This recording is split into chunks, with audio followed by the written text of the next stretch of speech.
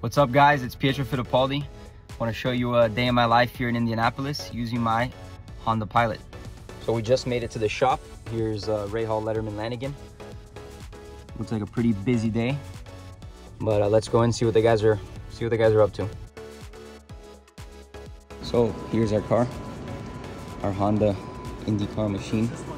Looks like they're uh, testing some stuff on the timing stand. Looking pretty cool for our next race.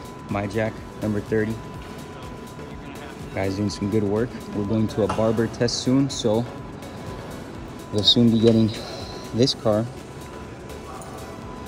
into one of those trucks.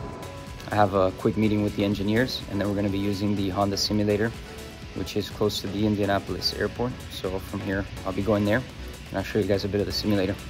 So this is one of the meeting rooms at the team that we use to prepare for race weekends or go over, uh, for example, St. Pete, which uh, we just did. And as you can see, it has a pretty good view of our Honda-powered Indy cars. Mechanics working pretty hard, getting everything ready.